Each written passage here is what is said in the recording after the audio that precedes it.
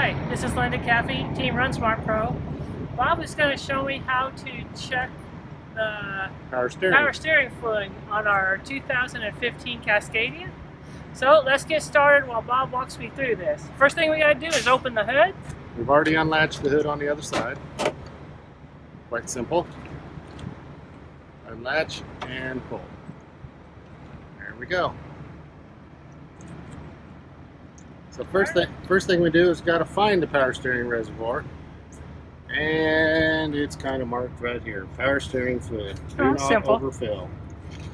So this was pretty simple. Also, it has a sight glass or sight gauge, and we are sitting on a little bit of a lean, but you can look in here and see the the fluid is right up here, and right here it says max fill and minimum cold.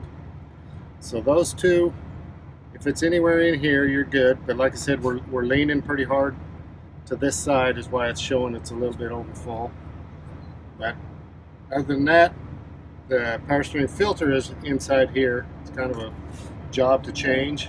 So is that something I would probably take into a shop and or else just have you show me do it? Could I actually do it if you showed me how? Oh no, you, you actually have to take the coolant or the reservoir off, and there's three bolts, and it's a it's a little bit of a job. I did a, a video on it earlier um, in the year. You feel right here? And that's where you fill if it's low.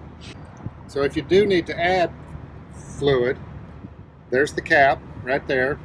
And you, before you take any cap off, you always wipe wipe it off to make sure there's no dirt that could fall in into the reservoir and contaminate your, your fluids.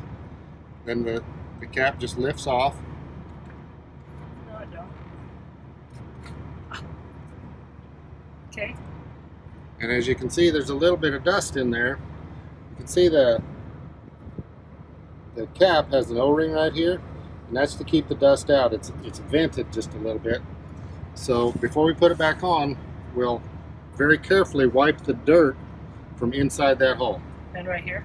and and right there on the all the way up into the bottom side of the cap.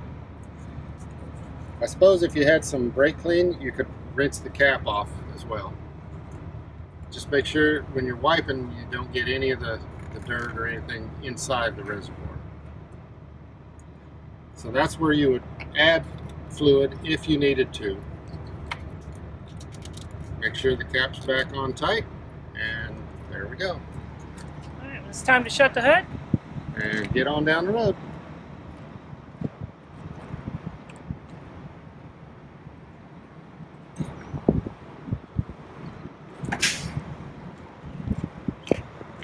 To shut the hood on this truck. All right, this is Bob and Linda Caffee, Team Run Smart Pros, showing you how to check Power the power steering. Thanks for watching.